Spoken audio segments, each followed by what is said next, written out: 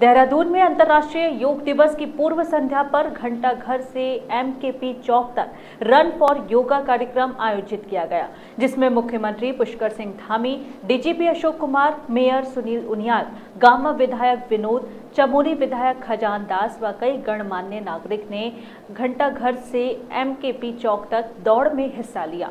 इस मौके पर मुख्यमंत्री पुष्कर सिंह धामी ने देशवासियों सहित उत्तराखंड प्रदेश की जनता को योग दिवस की पूर्व संध्या पर बधाई दी। इसके साथ ही उन्होंने प्रधानमंत्री नरेंद्र मोदी को भी धन्यवाद ज्ञापित किया। मुख्यमंत्री पुष्कर सिंह धामी ने कहा कि योग करने से सभी निरोग रहेंगे और लगातार योग करते रहें। देहरादून से अवनीश गुप्ता की रिपोर्ट। भारत माता की, भारत माता की, करो योग। करो योग। डीजीपी साहब मुझसे कह रहे थे कि एनसीसी के बच्चे आगे जा रहे हैं।